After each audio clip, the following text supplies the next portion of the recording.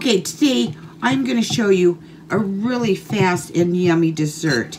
We're going to make a brown salted caramel brownie pie.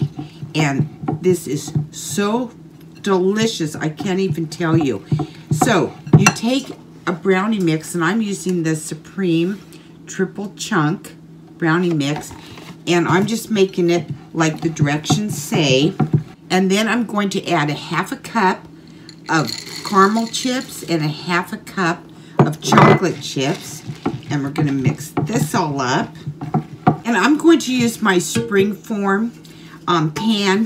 And I put some parchment paper on the bottom and followed the directions on how long it should take to cook. And the best thing to do is insert a toothpick. And when it comes out clean, then the brownies are all done. Now, if you don't want to use the spring form, you know, and don't have one, just use a square one or a round pan. I'm using the spring form because I can, after it's done, take off the sides because we have a delicious topping that's going to go on top of this. Okay, so the brownie is cooling and I'm just going to go around the sides and just make sure it's loose before I undo the sides. We're going to make the brown butter salted caramel.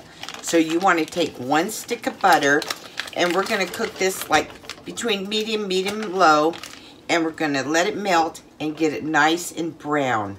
This is so delicious. And it's really important to get this butter nice and brown because that is going to give you the richness. Okay, so this is all nicely browned and I'm going to put in, mixed in here is a half cup of brown sugar and a half a cup of regular sugar. And we're going to mix this till it dissolves. Okay, and then you want to add a half a cup of milk and stir this. And you take your whisk and go around, make sure everything is getting all dissolved. Now that it's boiling, we're going to let it boil for about one minute. Okay, after this is boiled for one minute, I turned off the burner. And now we're going to put in the vanilla. And we'll put in about two teaspoons. And we're going to mix this. And we're just going to set this aside until the brownies are done and cooled.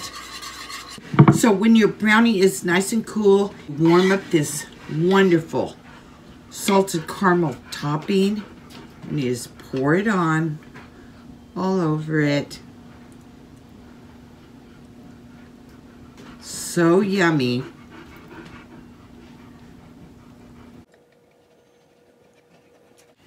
So I want to thank you so much for coming into my kitchen.